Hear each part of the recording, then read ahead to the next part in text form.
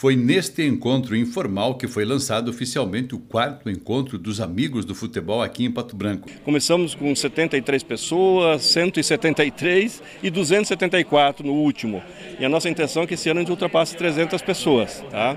E a gente está ampliando um pouco mais também para ser regional o encontro. Então, desde atletas de futebol de campo profissional, futebol de campo amador, interfirmas, intercapelas, enfim, quem jogou no passado em qualquer dessas modalidades de campo, futebol de salão, futsal agora, né, futebol suíço, árbitros, ex-árbitros, cronistas esportivos, jornalistas, é, é, é, incentivadores do esporte, patrocinadores, dirigentes, enfim, todo mundo que fez parte de alguma comunidade, de algum clube né, de futebol está convidado a participar conosco. Há condições a serem observadas para participar do encontro. Para poder participar é, do encontro, a pessoa tem que demonstrar que jogou.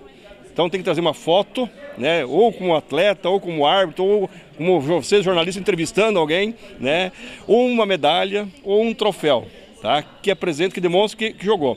E também, para poder entrar no clube, além de trazer a foto, que é um, um, a credencial, é, também vai estar, tá, estar vestido ou com a camisa do, do time qual ele jogou na época, ou com a camisa do time que ele torce. Haverá também exposição de fotos, troféus, medalhas e de camisas de futsal e futebol.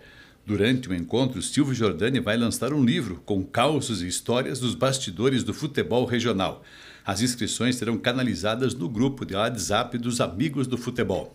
Nós temos um grupo de WhatsApp, mais de 300 pessoas já nesse grupo. Tá?